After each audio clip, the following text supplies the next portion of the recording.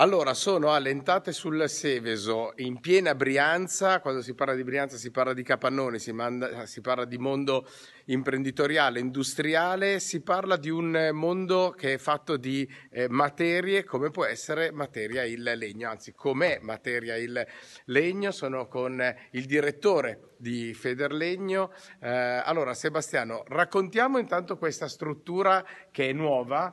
Eh, a settembre cominceranno i corsi qui. Mi è piaciuta molto la, la storia di questo, di questo, plesso, perché prima mi raccontavate che era un plesso militare, addirittura una polveriera.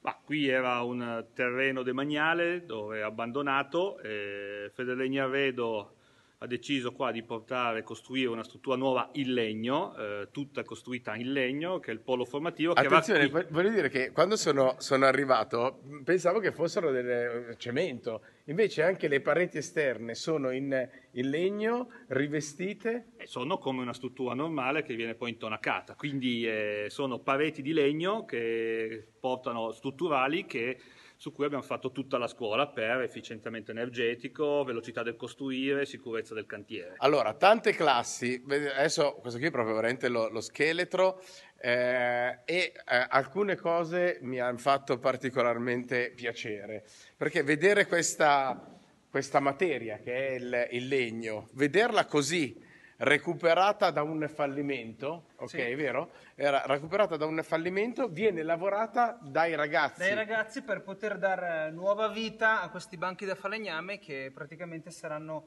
i banchi sui quali i ragazzi studieranno. Quanto ci si mette? Allora, intanto, questa, voi l'avete eh, trovato così, ok? Guardate. Sì, è un, già, è un banco da lavoro che avrà una vita di un centinaio d'anni. Eh, la, la, fase successiva, quella dove i ragazzi, con altri ovviamente, con altri, altri bancali, hanno lavorato, è, è questa? È questa, sì. Il, cioè, guardate, guardate come poi i ragazzi... pulito, uh, carteggiato e finito con uh, un olio.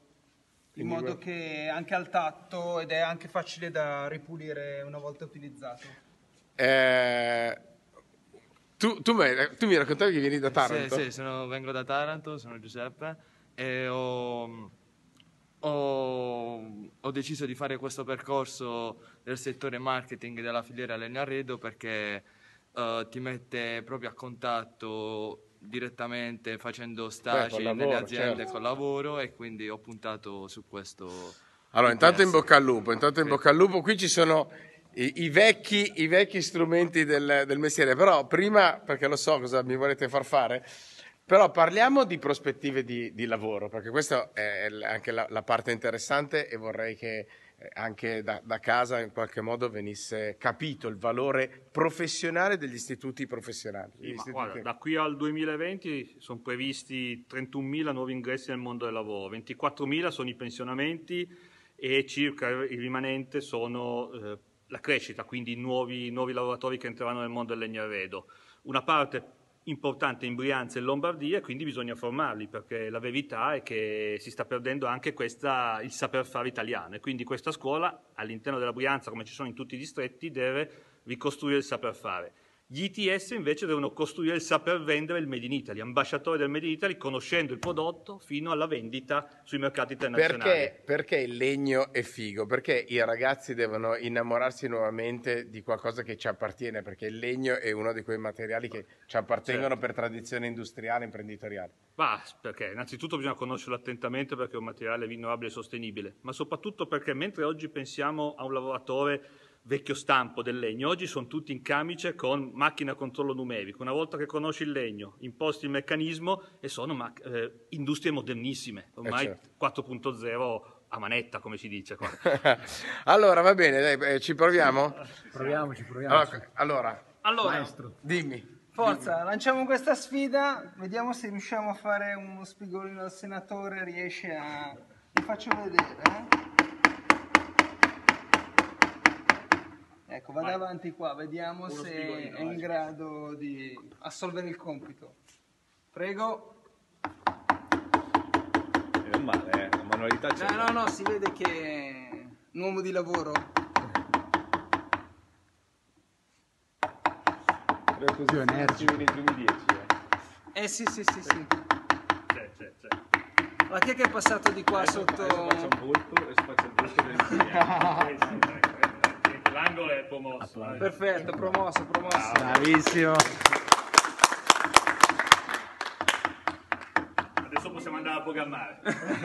Adesso là c'è il computer e programmerà la macchina a controllo numerico per eh, le prossime lavorazioni. Bene, bene. Grazie. Oh, ragazzi, grazie a voi. E allora io a maggior ragione faccio un saluto a- e un omaggio ai miei nonni eh, e a mio zio, perché mh, attraverso il loro racconto ho scoperto la bottega, attraverso il loro racconto ho scoperto anche quello che è il nostro patrimonio.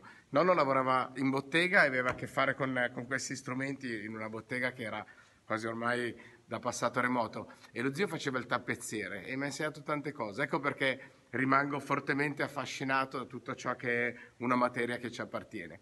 Eh, mi auguro che questo video sia servito anche come promo per un mondo che dà lavoro, che è interessantissimo e che ha bisogno sempre più di visibilità, ma non sarà certo l'unico e ultimo video che faremo in materia.